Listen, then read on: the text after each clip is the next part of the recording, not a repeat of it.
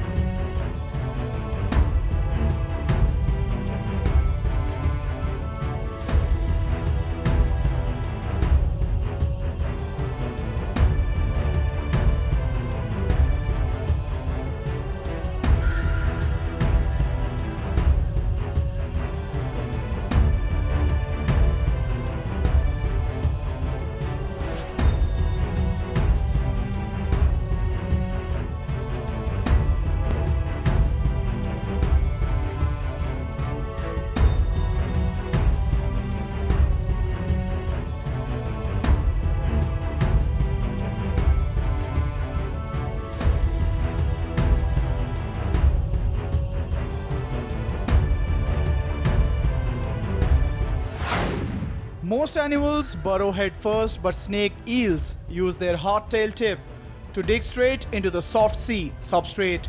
When they are swallowed and take exception to that, they just use that same mechanism to burst straight out through the stomach wall.